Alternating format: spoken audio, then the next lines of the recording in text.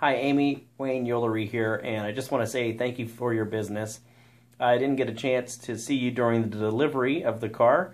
Uh, my mom was ringing the bell. It was her last day of chemo in her fight against uh, ovarian cancer. So I'm glad everything worked out with Gage.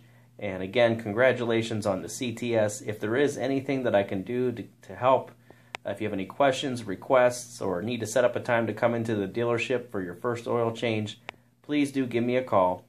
Uh, you do know my number, 888 221 6729. Thanks, Amy, and have a great day. Bye bye now.